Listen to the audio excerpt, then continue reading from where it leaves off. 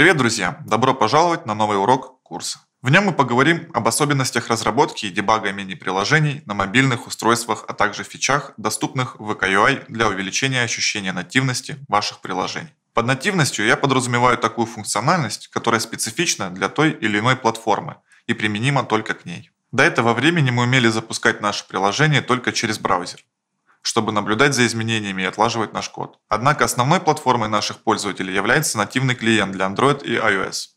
А потому, чтобы видеть полную картину, нужно иметь возможность запускать наше приложение во время разработки на мобильном устройстве. Давайте не будем затягивать и приступим к необходимым для этого действиям. Прежде всего, нам понадобится утилита для командной строки под названием VK Tunnel. VK Tunnel – это утилита, которая позволяет сделать ваш локальный сервер публичным, предоставляя URL с HTTPS, чтобы соответствовать требованиям ВКонтакте для ссылок приложения на мобильном клиенте. Для ее установки выполните команду, указанную на слайде.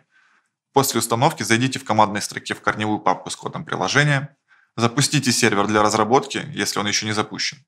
Когда сервер запущен, вы можете запустить VK Tunnel при помощи команды на слайде. При первом запуске в терминале будет предложено перейти по ссылке в определенном формате для авторизации. Откройте ее в браузере, вернитесь в командную строку и нажмите Enter. После успешной авторизации в командной строке появится другая ссылка, как на слайде. Укажите ее в поле URL для разработки в управлении вашим мини-приложением для дальнейшей работы. Сохраните изменения и попробуйте открыть это приложение на мобильном клиенте. Для удобства вы можете скопировать ссылку на приложение и отправить себе в избранные сообщения. Вы увидите, как в командной строке начнет генерироваться лог запросов который проксируется к вашему локальному dev-серверу. Если вы это видите, значит все получилось, и приложение запустится в ближайшее время. Сгенерированная ссылка будет время от времени меняться, и вам придется каждый раз обновлять ее в настройках. Чтобы избежать этой ручной работы, мы можем создать файл конфигурации. В корне вашего проекта создайте файл с названием vktunnelconfig.json и следующим содержимым, как на слайде. Обязательно замените app-ID на ID вашего приложения ВКонтакте а поле Endpoints отвечает за места, в которые будет подставлена сгенерированная ссылка в настройках приложения. Помимо туннеля, есть еще одна полезная утилита, которая поможет вам в отладке и разработке мини-приложения. Это Eruda. Она заменяет нам доступ к привычным инструментам разработчика в настольных браузерах.